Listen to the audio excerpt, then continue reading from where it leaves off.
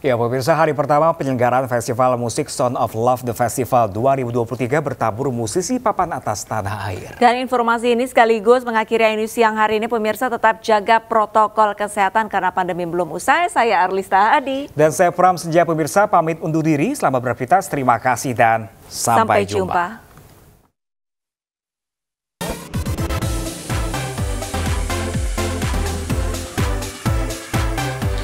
Sejak sore hari, para penonton datang silih berganti untuk menghadiri hari pertama penyelenggaraan Festival Musik Sound of Love 2023 di TNC Indoor Senayan, Jakarta Pusat. Sejumlah tenan makanan dan berbagai produk serta panggung karaoke disediakan untuk ikut menyemarakan acara. Ribuan penonton memadati area dalam venue untuk menikmati berbagai penampilan musisi tanah air mulai dari Anmes Kamalaing, Armada, Ada Band, Arman Maulana, Anji, dan Setia Band.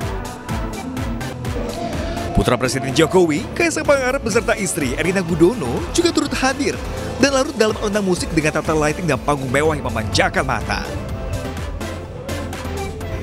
Sound of Love The Festival 2023 yang bertemakan romantic love music ini mencoba mengingatkan kembali lagu-lagu romantis yang hits pada masanya dan membawa kenangan tersendiri dan mengobati kerinduan bagi siapa pun yang mendengarnya. Hal tersebut sebagai sebuah apresiasi bagi para musisi yang hingga kini tetap konsisten menghasilkan karya-karya terbarunya.